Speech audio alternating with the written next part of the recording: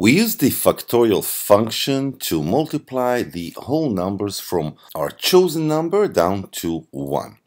So, for example, 4 factorial is 4 times 3 times 2 times 1. That is equal to 24. 6 factorial is 6 times 5 times 4 times 3 times 2 times 1. And that is equal to 720.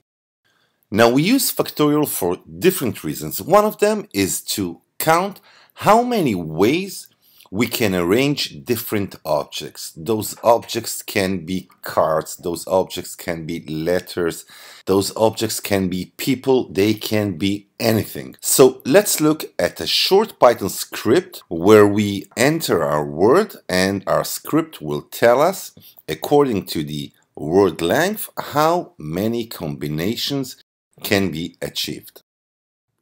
Let's start by importing the math model and the next thing that we will do is the user input that asks the user what is the word that you want to calculate the number of permutations. So let's uh, write down input um, what is the word. All right. Now, the next thing that we will do is to add up another variable, uh, which will actually hold the um, message or the word and calculate the length of it. So let's use length num. All right. Now let's use the factorial. So we will, let's just name it factor. All right. Now we will use math dot factorial and we will enter num word which is our variable that actually holds the number of objects in the let in the word itself. And the last thing to do is to uh, print the number of reordered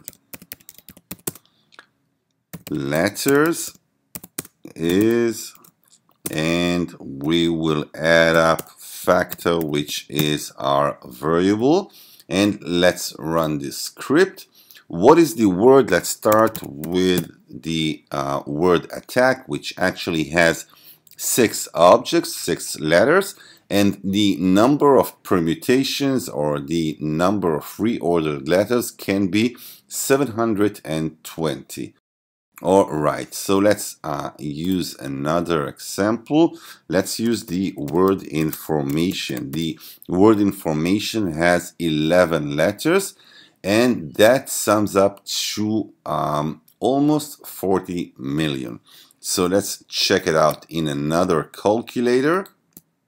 And let's enter 11, which is our n and let's calculate the factorial and that also sums up to 40 million possibilities.